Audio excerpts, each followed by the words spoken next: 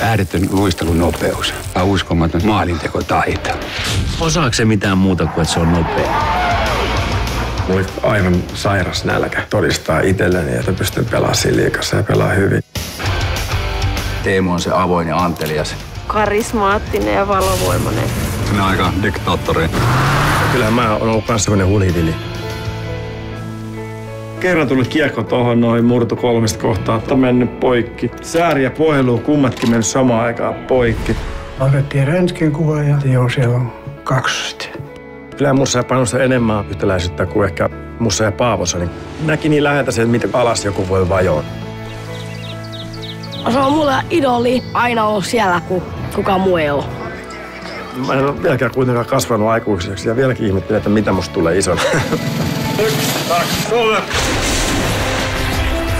Eihän se oikeasti lopeta tota lätkää ennen kuin joku sanoo, että nyt sä et voi enää pelata. Unohti sen koko sopimuksen. Ja se oli ihan, ihan mun syy. Kehitys loppuu tyytyväisyyteen. Se on vienyt mut sit sinne, mihin mä oon päässyt.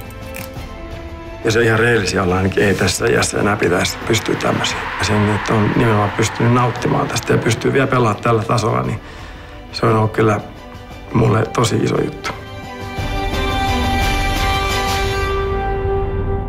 Vaimo! Missä kahvi?